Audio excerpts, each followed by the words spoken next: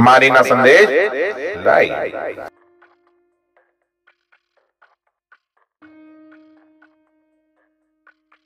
हमारी ज़मीन बैनामा लिया था। दस साल से मैं कब्जा हूँ। और अभी वो दूसरे के लिख के और हमको परेशान कर रहे हैं।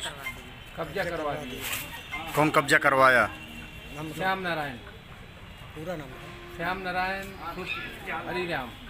गुलाब गुलाब कुमार हरिराम जो किसान यूनियन के अध्यक्ष हैं लीलावती सिंह जी वो आपके साथ हैं हाँ उत्तरी रहने वाली हीरावती है जो न है हमरा तरह तरह के लगाते हैं कि औरत बेसा है ये है और जो न है हम कुल दौड़ दौड़ थक गए अब का लीलावती बहन जाने दे रही हमारे सबका अवश्य शायद हमारा है पुरानी वादी घर पुरान महाल बात के बाद आपको नहीं दिया। इस चार ही हम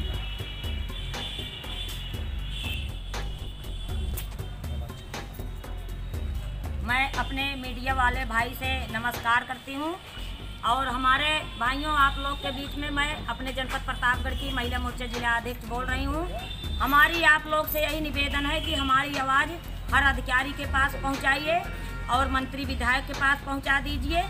और मैं यही कहना चाहती हूँ कि हमारे समाज में गरीबों का उत्पीड़न बंद किया जाए और उत्पीड़न अगर इसी तरह रहेगा तो हमारा आंदोलन भी इसी तरह बढ़ते रहेगा। और मैं महिला आंदोलन चालू कर दूँगी। और मैं हर गेट पे हर रोड पे जाम कर दूँगी। और संघर्ष करो। इस, इस चीज़ का जिम्मेदार शासन प्रशासन होगा। अभी हमारे जो अभी जो यादव जी बोल रहे हैं मैं इनका मौका देख के आई। इनके मौके में इनका ज़मीन बैनामे की एक ही सेट पे तीन सेट लगा करके बैनामा हुई है। और जो चकमार्ग पे ज़मीन हुई है वो कब्जा करवा दिए यादव जी दूसरे से। ये बेचारे कुछ नहीं कर पाए। और ये जो महिला है, इसके साथ तरह तरह का लाछन उड़ाया जाता है, जो कि ग्राम सभा प्रधान बनता है, चुनी मुखिया बनता है, इज़्ज़त सम्मान के लिए। सम्मान बेच करके हर इंसान को बदनाम कर रहे हैं। उगेश जी, उनको मैं निवेदन कर रही हूँ, भाई मेरे प्रधान हो, प्रधान की तरह ज़िम्मेदारी निभाइए, किसी की इज़्ज़त को लीलाम मत करिए।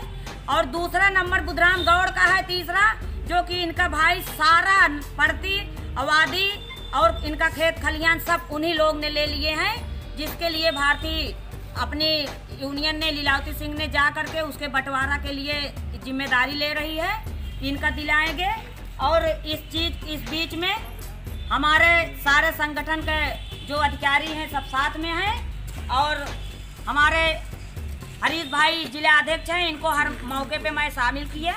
दोस्तों, नमस्कार। हम हरीश कुमार पटेल जिला अध्यक्ष प्रतापगढ़। मैं यही कहना चाहते हैं, जो गरीब जनता के साथ अन्याय किया जा रहा है, उनको न्याय दिलाया जाए। यदि न्याय नहीं दिलाया जाता है तो यहाँ तक नहीं, प्रतापगढ़ नहीं लड़ाई हम लोग लड़ेंगे, लखनऊ तक भी लड़ने के लिए हम लोग तैयार हैं। वहाँ भी जाएँगे, हम लोग अपना किसान यूनियन ले करके जाएँगे। हमारे भाई चंचल जी हैं, पूर्व प्रधान भी है, किसान यूनियन प्रदेश उपाध्यक्ष भी बनाए गए हैं। इनके साथ भी अन्याय किया जा रहा है, उस अन्याय को बर्दाश्त नहीं किया जाएगा। इनके साथ में भी हम लोग लड़ाई लड़ने के लिए तैयार हैं, पूरा संगठन लेके। खबरें पसंद आई हो तो लाइक करें, शेयर करें, कमेंट करें और इसी तरह खबरों का ताज़ा अपडेट पाने के लिए हमारे चैनल मारिना संदेश लाइव को सब्सक्राइब करके घंटी वाला बटन दबाना ना भूलें।